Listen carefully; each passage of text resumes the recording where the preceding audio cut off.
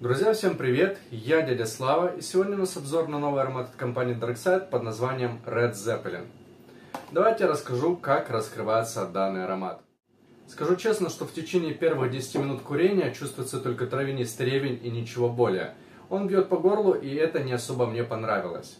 Через какое-то время начинает чувствоваться сладкая ягода крыжовника с легкой терпкостью на послевкусие. Не знаю кому как, но при курении в соло у меня данный аромат вызвал двойственное ощущение и не особо понравился. А вот в миксологии раскрывается довольно-таки интересно. Я его использовал в сочетании Red Zeppelin 50%, 30 гранат и 20 киви. В такой интерпретации это довольно-таки вкусно.